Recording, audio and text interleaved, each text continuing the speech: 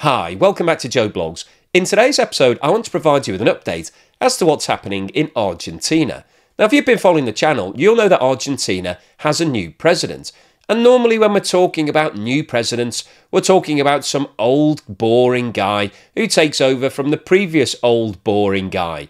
But not the new president in Argentina. Javier Milei is a rock and roll president.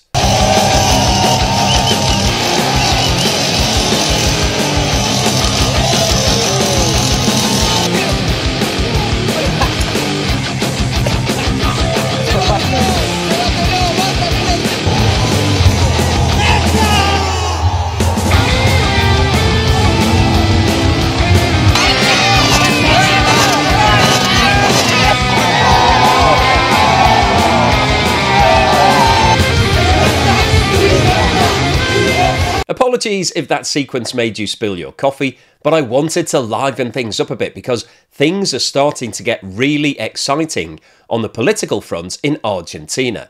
Now, Javier Milei took control of the country on the 10th of December, and in his inauguration speech, he said that it was likely that things were going to get worse before they got better. And he was absolutely right, because the latest data that we're seeing shows that Argentina now has the highest rate of inflation out of any country in the world 254%. That isn't something that he was hoping to achieve. And in addition to that, it's recently been announced that the level of poverty in Argentina has now hit 57%, compared with around 49% at the end of December. So things are definitely starting to get worse. But the big question is can Javier Milei actually turn things around? Obviously, what's happening right now isn't because of what he's doing. He's only just taking control of the country. It's like getting into a speeding car when it's running away at 200 miles an hour and trying to make it turn and slow down rapidly. It's going to be very difficult for him to be able to turn things around. So, in today's video, we'll have a look at exactly what's going on with regards to the level of inflation. We'll look at food inflation and interest rates. We'll then talk about what's happening with the currency, the peso, because one of the first things that Javier Milei did introduce was a 54% devaluation of the peso. However, that doesn't look like it was enough. The peso is still crashing, it's falling in value. So I'll have a look at exactly what's going on with it and what the high level of dollarization in Argentina right now means for the economy. We'll then look at his reform bill, which was his major policy that he brought in. He wanted to make 600 changes to the laws and the taxes and the regime in Argentina to try to turn things around. But he's got to get that approved. It's got to go through the official channels, and he's having some difficulty with that. So I'll give you an update on exactly what's happening with that reform bill and what's going on with regards to the IMF, because Argentina is the world's largest borrower from the IMF. Are they supportive? Are they on board with what he wants to do? And then finally, today, I'll wrap up with my summary. So, what I think is likely to happen over the course of the next three to six months, and whether or not Javier Milei has a chance of steering Argentina back into the slow lane. But before we get started on all of that, once again, I'd like to say thank you so much to everybody that's supporting the channel. If you've bought me a coffee or sent me a YouTube super thanks over the last seven days, thank you so much. It really does mean a lot to me. And if you've signed up as a patron or a member, you're providing long term support for the channel, and that really does help to keep me posting more videos. So thank you so much. This chart shows the movement in the official rate of inflation in Argentina over the last 12 months. And as you can see, this time last year, inflation had already moved into triple digit territory when it hit 102% in February 2023. However, since then, it has risen in virtually every single month. And in the last three months, it's really started to accelerate, hitting 161% in November, 211% in December, and an astronomical 254% in January 2024. And as I mentioned at the start of today's video, that now ranks Argentina as the country with the highest rate of inflation in the whole of the world. And in fact, as you can see from this table, it's now the only country in the world with inflation above 200%. And there are only three other countries with inflation in triple digits which are Lebanon, where the inflation is currently 177%. And Lebanon is a war torn country. It had a civil war back around 20 years ago, and it's never really recovered from that situation. Syria, where inflation is 150%, and Syria is also a war torn economy. And Venezuela, where the inflation rate is now 107%, and Venezuela is suffering from the severe sanctions that have been applied against the country since the disputed re election of the current president Nicolas Maduro. And when you look at some of the other names on this list where there are serious economic problems, such as Turkey, Iran, Zimbabwe, Cuba, Egypt, and Pakistan, you can see that the rate of inflation in those countries is significantly lower and really puts into perspective just how serious the situation is in Argentina right now. And just in case you were thinking that Argentina has always had inflation problems, this chart shows the official rate of inflation over the last 25 years. And as you can see, the current levels are completely off the scale compared to what Argentina has historically had to deal with in terms of inflation. It has had a relatively high rate of inflation compared to other countries in the world. It's been in double digit territory for around the last 10 years. However, it hasn't been anywhere near the triple digit territory that it's now in, and certainly not the 250 plus range. This chart shows the movement in food prices in Argentina over the last 12 months. And if you follow the channel, you'll know that we always like to look at food inflation because it gives a really good indication as to what's going on with regards to the standard of living in the country. Every human being has to buy food to survive, but the poorest members of society spend a much higher percentage of their budget on food. And so when food prices are rising rapidly, it disproportionately affects that part of society and makes life more miserable and much harder and basically increases the cost of living. And what this chart shows is a similar trend to what we've just seen for the actual inflation. However, the rate of increase over the past few months has been much higher. This time last year, food prices were increasing at 102%, which is exactly the same as general inflation. And over the last 12 months, we have seen those prices increase. But over the last three months, there has been an acceleration. And in November, food prices increased by 184%. They increased by 251% in December. And in January 24, food prices rose by a record 296%. So that means that compared with this time last year, food is almost four times as expensive. Because if you think about it, a 100% increase would be a doubling in the price.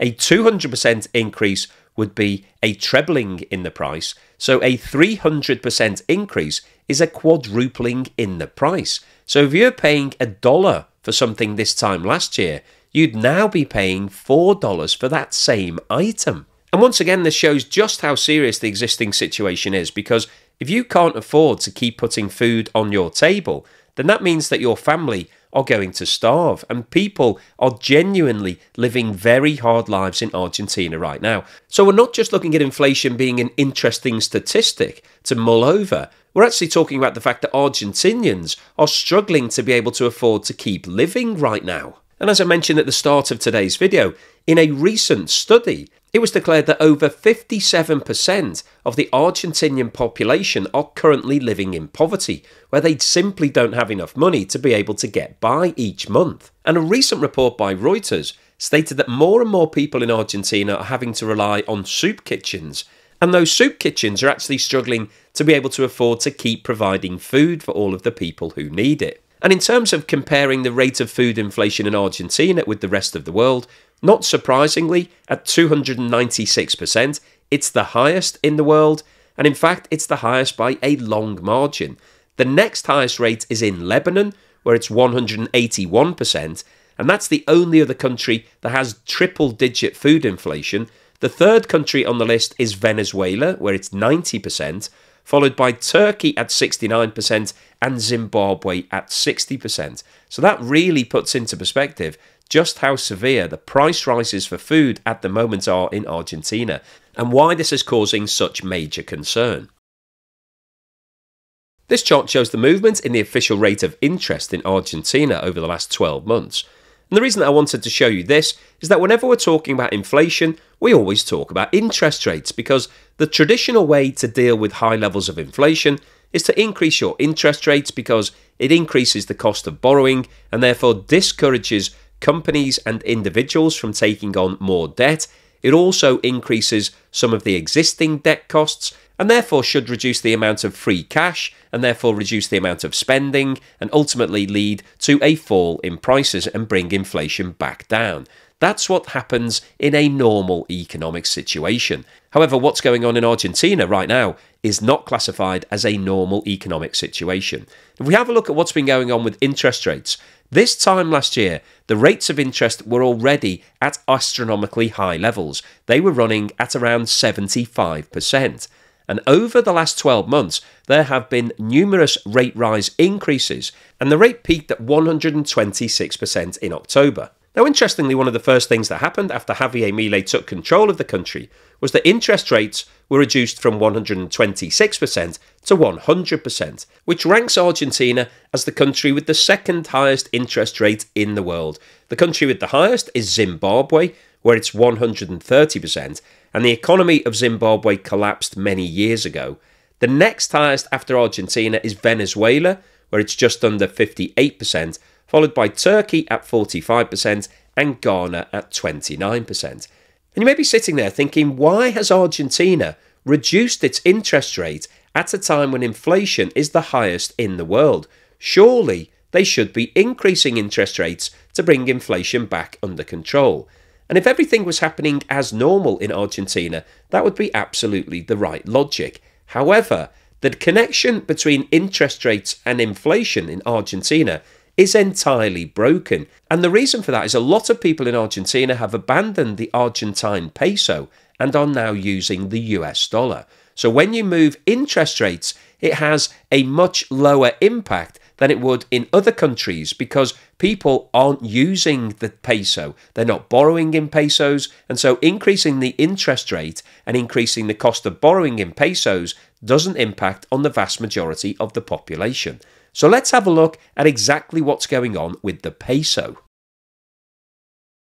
This chart shows the movement in the official exchange rate between the US dollar and the Argentine peso over the last five years.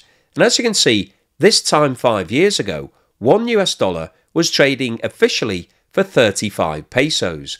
Today, it's trading for 841. And if we zoom in and have a look at what's happened over the last 12 months, this time last year, one US dollar was trading for 197 pesos, and that means that in the last 12 months, the peso has seen a devaluation of over 76%, and that is officially a crash in anybody's language. Now, you may be looking at this chart and thinking that it looks very unusual. It's got a very strange shape to it. There isn't a continual and gradual decline in the peso. We've got some sharp movements here. And the reason for that is that what we're looking at here is the official exchange rate in Argentina. And this is controlled by the Argentinian Central Bank. And effectively, what they're doing is fixing it at certain levels that they think it should be trading at. This isn't a true market float. And the reason that there's a vertical line on this chart in December 2023 is that that represents the 54% devaluation that Javier Milei introduced as soon as he took over as president to try to move the peso official exchange rate closer to the real exchange rate on the streets, which is referred to as the blue dollar rate. This chart shows the movement in the blue dollar rate over the last 12 months, and as you can see, the movement of this chart is more in line with what you would expect to see with an exchange rate movement. There's more of a fluid continuation in the downward trend in the value of the peso. Now, interestingly, this time last year, one US dollar was trading for 377 pesos on the blue dollar exchange rate, compared with 197 for the official rate. So that means that the blue dollar rate was 48% lower than the official rate. Today, the blue dollar exchange rate is $1 to 1,070 pesos, compared to the official rate of $1 to 841 pesos. So the divergence today between the blue dollar rate and the official rate is around 20%. So it has reduced significantly since Javier Milei took over, but there is still a significant difference. And until the two rates come together, we will always see a black market forming in pesos. And that's one of the problems that's happening in Argentina right now.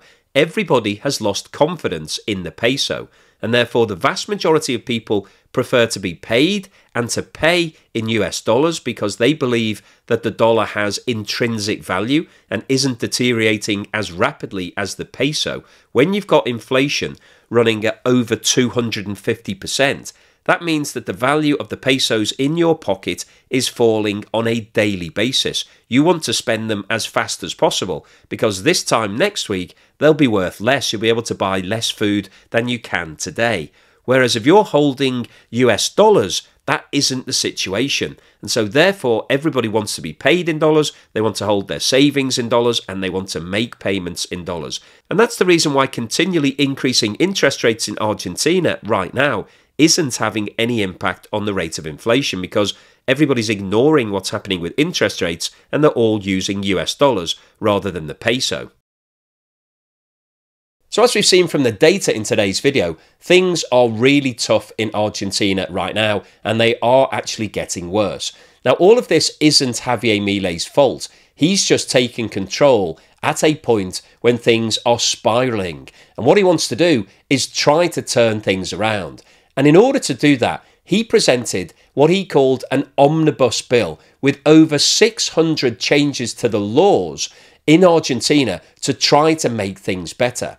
But he can't approve things on his own. He isn't an actual dictator. He needs to get all of the other lawmakers in Argentina to approve his reforms. Now, this reform bill has proved to be very controversial, and there's been a lot of demonstrations against it because he wants to privatise some of the nationally owned businesses that relate to resources in Argentina. And there are people who are concerned that the state is giving away its assets too cheaply. And as a result of this, there's been a lot of debate in the Argentinian government.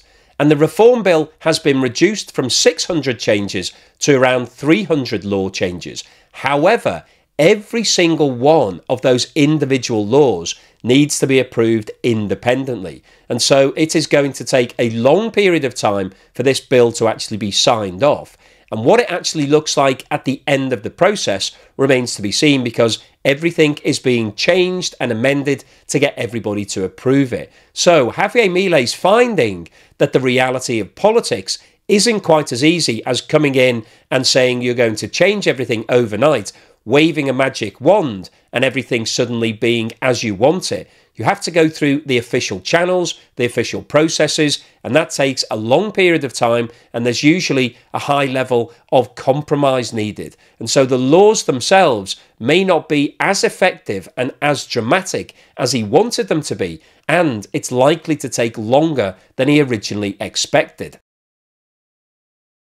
Javier Milei isn't finding that everybody is supportive of his tactics because Argentina is split into various regions, and some of those regions have natural resources and see themselves as being powerful within the Argentine nation. And a political conflict has now broken out with the region of Chubut in the south of Argentina. Chubut is Argentina's second largest oil region and third largest for gas. However, Javier Milei recently held back a payment that was due from the central government to the region in response to the fact that the region has a large amount of debt owing to the state that it wasn't making payments on. In response to this, Chubut Governor Ignacio Torres said that the province would cut energy supplies to the nation if funds were not dispersed. And in response to this, Javier Milei called this extortion by the region. So clearly, not everybody is fully supportive of Javier Milei's revolution, and it will be fascinating to see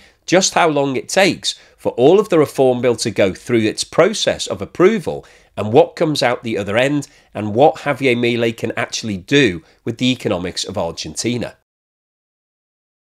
As I mentioned at the start of today's video, Argentina is the country in the world that has the most debt outstanding to the IMF, the International Monetary Fund. This chart shows the position as of the 27th of February 2024. And as you can see, Argentina's debt is standing at $32.45 billion. The country with the second highest outstanding amount of debt is Egypt at just under $11 billion, followed by Ukraine at just under 9 billion, Pakistan at just under 6 billion, and Ecuador at just under 5.9 billion. And in addition to the 32.5 billion of debt that's already in place, in January the IMF announced that it was releasing a further $4.7 billion to Argentina. And in itself, that 4.7 billion would have made Argentina one of the biggest borrowers from the IMF. But obviously, when you add it onto the 32.5 billion, it's streets ahead of everybody else. So it's been receiving a serious amount of support from the IMF. But what's the IMF's view of Javier Milei's position? Well, they are very supportive. They believe that he's on the right track. Obviously, whatever's been happening over the last few years hasn't been working, and the IMF has continued giving money to Argentina to try to help it. So they believe that Javier Milei and his radical policies are the way forward. And it'll be interesting to see, firstly, how many of those radical policies actually make it through the voting process, and secondly, what happens when they're actually introduced, whether or not it does start to improve the situation in Argentina or if it makes things worse. So, what's the summary and conclusion today? Well, I wanted to post this video because what's going on in Argentina is really fascinating. A hundred years ago, Argentina was one of the biggest economies in the world. They were a major player. However, today the country is in dire straits. It's a sad situation. It should be doing much better than it is. However, through mismanagement and poor economics over the last 50 years, the country has found itself in one of the worst positions out of every country in the world. It's taken on far too much debt historically, it's struggled to be able to maintain and pay that debt, and it's become a vicious circle. And Javier Milei has come in on a white charger. He said that he's going to sort things out. There's going to be an economic revolution. But he did say that it was going to get worse before it got better, and he was absolutely right because right now it's the worst that it's been at any point in the past 25 to 50 years. Inflation is now the highest out of every country in the world. And when you've got inflation running at 250%, which means that it's increasing by more than 20% per month. And if you just take a second to think about that, we've been talking about rates of inflation of 8, 9, 10% per year being a disaster for a lot of the developed world. When you're talking about 20% per month, things are going up more than 20%. It means that everybody is struggling to be able to afford basic things such as food. And as we saw, Argentina has the highest levels of food inflation out of any country in the world. And that means that more and more people are being pushed into poverty. And that's why there are demonstrations on the streets of Argentina right now. It isn't because they don't like Javier Milei, they're blaming him for their current situation. They don't like any of the politicians because they haven't been running Argentina well for a very long period of time. So Javier Milei has a major task on his hands. In order to turn this around, he needs a miracle. He needs things to start going back to where they were 100 years ago. And one of the major problems that he's facing is that he doesn't really have control of the monetary supply because nobody in Argentina wants to use the Argentine peso because of the fact that inflation is so high and it's devaluing on a daily basis. You're able to buy less and less things every time you go to the shops with your pesos. People don't want to run that risk. They don't want to go to the supermarket and find that they don't have enough money to pay for all of the food that they need for their family. They would be much happier going in with US dollars, knowing exactly how much they can buy. So that's what's happening in Argentina today.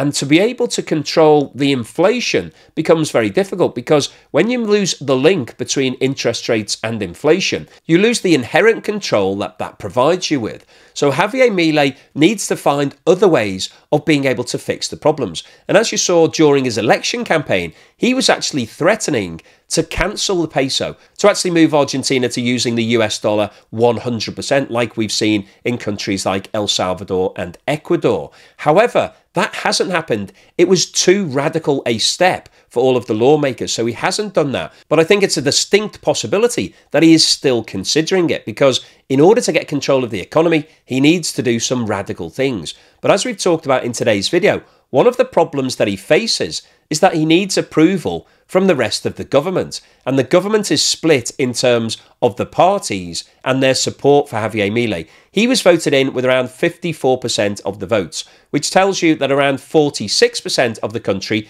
were not supporting him. And that's broadly what we've got in the government. We've got a split between all of the different lawmakers. And that makes it very difficult to get things approved because everybody has to agree on a consensus position. And so I think what's likely to happen over the course of the next three to six months months is that the radical reforms that Javier Milei wanted to bring in are going to be very difficult to deliver because he needs those approvals. That's going to slow him down in terms of making those changes. And therefore, the turnaround in Argentina is likely to take longer than he originally expected if it ever happens at all. So I think the outlook for the next three months is that we will continue to see a deterioration in the situation. By the first half of 2024, it's likely that inflation could actually rise closer to 300%. It may even go above 300%. So Argentina is likely to remain as the country with the highest rate of inflation in the world.